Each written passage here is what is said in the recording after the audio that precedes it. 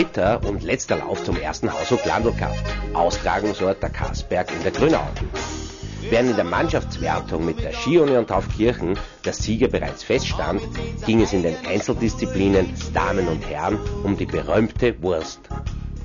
Und was auffiel, wieder ein Riesenstarterfeld und eine top präparierte und vor allem toll gesteckte Piste. Zufrieden natürlich die Organisatoren des ersten Haus- und Landl Cups. Selbstverständlich bin ich motiviert. Äh, es waren drei super Rennen mit einem riesen Starterfeld. Äh, heute auf Kirchen mit 160 circa. Äh, ich möchte die Organisatoren herzlich gratulieren zu der super Ausrichtung. Der Haus- und Landl Cup im nächsten Jahr mit Sicherheit kein Thema. Kein Thema, wir werden sicher wieder die Veranstaltung durchführen. Wir werden schauen, dass wir vielleicht ein, zwei Vereine dazu gewinnen. Und damit wird die Region noch mehr belebt.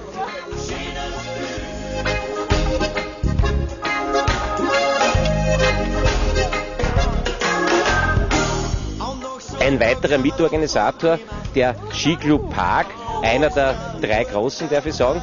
Wie zufrieden mit dem ersten Haus- und Landl Cup? Ja, wir sind in erster Linie sind wir sehr zufrieden. Das zeigt das große Teilnehmerfeld.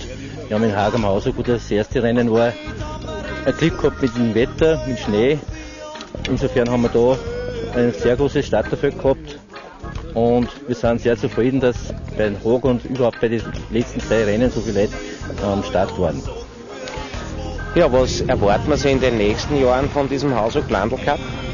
Ja, in aller Fälle erwarten wir uns, dass das Teilnehmerfeld so aufrecht, aufrecht viel bleiben und immerhin, dass sehr viele Leute mitfahren, so wie das jetzt war. Und die Idee ist ausgegangen von Raspolzhofen und wir sind sehr zufrieden, dass das so reibungslos verlaufen ist und vor allem unfallfrei. Ja, wenn man jetzt, jetzt äh, so ein bisschen rückbetrachtet, was waren die Höhepunkte oder die Stärken dieses Cups? Wo gibt es vielleicht noch ein bisschen was zum Verbessern?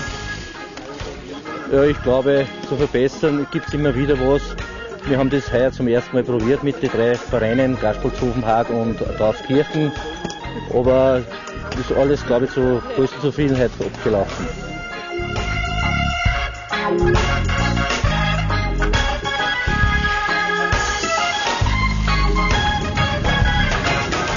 Übrigens, liebe Sportfreunde, diese verwackelten Bilder sind nicht entstanden, weil Mr.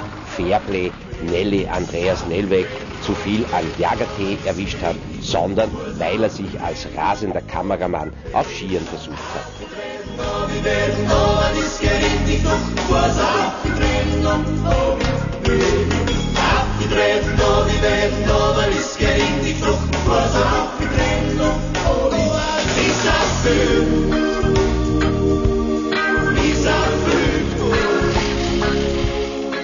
Das letzte Rennen zum ersten Haus- und Landl Cup, das dritte Rennen hier auf dem Kasberg, Organisator die Skiunion Taufkirchen, Karl Drinkfass.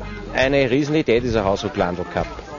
Ja, ich glaube schon, dass das wieder eine Belebung ist für die ganze Region. Man sieht es, das Sigalspatzhofen wird wieder entwickelt, auch Haag.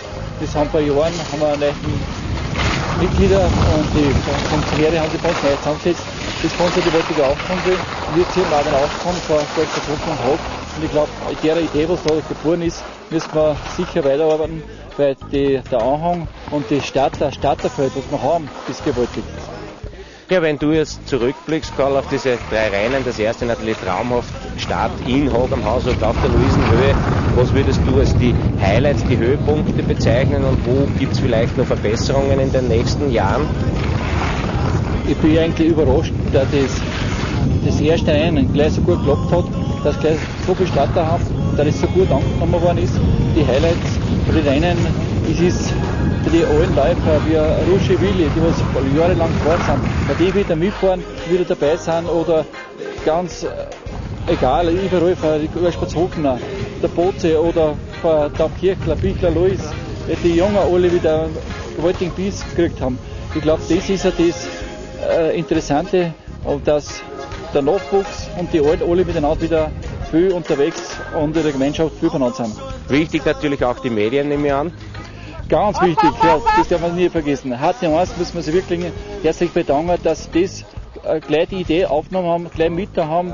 Die haben genau so wie wir, Goldsportshofen, Hag und auch hierher, haben die das gesehen, dass das eine, Fort, eine Zukunft hat und eine, sicher einen Fortschritt macht.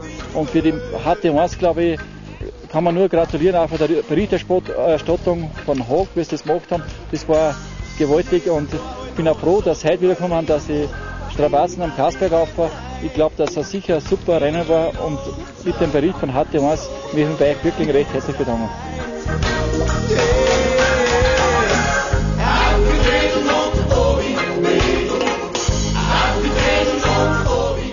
Hier bei den Herren ist sehr knapp zugegangen beim ersten Hausruck Landl Cup.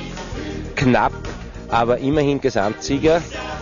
Vielleicht stellst du auch ganz kurz vor, Robert, für unsere Seher, für wen du fährst und seit wann. Ja, mein Name ist Robert Raufhuber, fahre für einen Skiclub in Haag am Hausruck. Seit wann eigentlich? Ja, er ja so lange zurückgegangen. Ja, zurück zum heutigen Lauf. Äh, relativ langer, schwieriger Lauf. Ja, schwierig in dem Sinn, weil eigentlich von der Sicht her hast du nichts gesehen, weder Wandeln noch die Rüben. Lang, ja, die Länge muss man trainieren, sollte man trainieren. ja, jetzt bist du beim ersten und zweiten Lauf ja jeweils Zweiter geworden.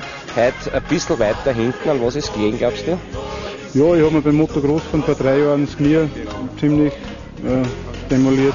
Ich bin jetzt zwei Jahre gar nichts gefahren, in Haag das erste Mal. Und jetzt eben die, die drei Rennen halt, sonst nichts.